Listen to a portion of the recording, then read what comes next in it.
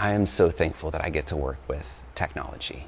You know, there's there's so many things that God has brought into the world. I mean, if you think just about like the first ship and the ability for a missionary to go and get into a ship and venture off to somewhere where you couldn't get to before just to bring the message of Jesus Christ. Well, you know, technology is like that. Technology is this great opportunity for us to hop into a different type of ship and go to places where we normally couldn't go. And, and I, I even think it's so special because we can reach people when they're in that darkest time, when other people can't see them, can't connect with them, where they shut themselves off to the world, where we, we have a way to come into their world and speak into their hearts.